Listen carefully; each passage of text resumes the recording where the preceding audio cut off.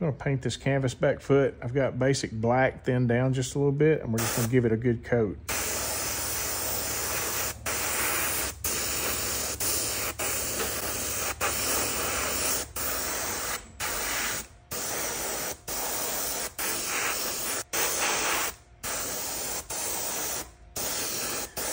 once we get the black on there,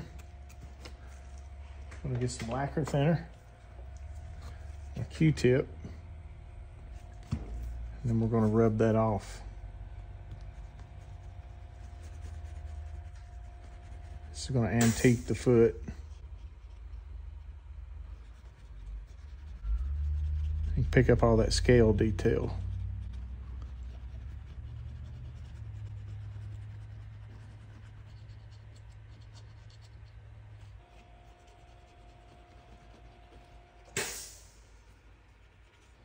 I'm going to go over the webbing.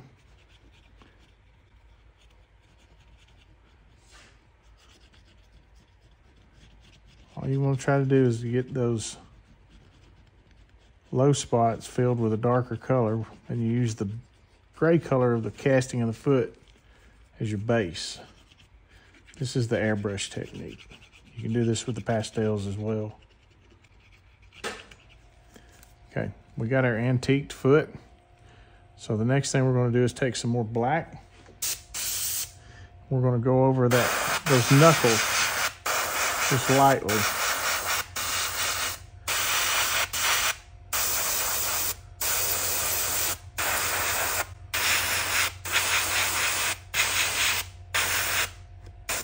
Just like that. I'm going to fill in these webs.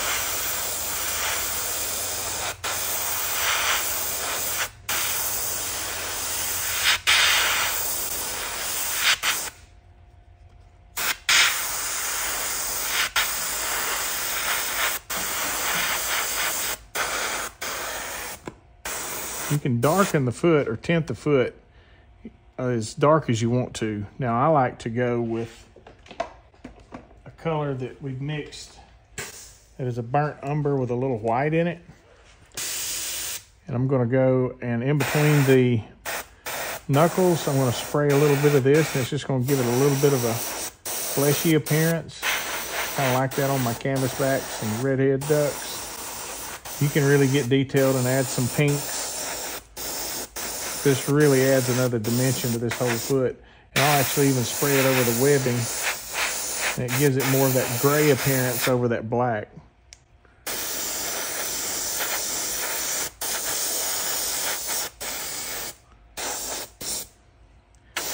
Once I get that, I'll come back with my black once again.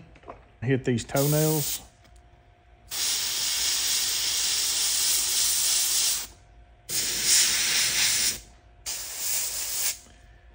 And if there's anywhere else I want to darken that web again, I can hit that.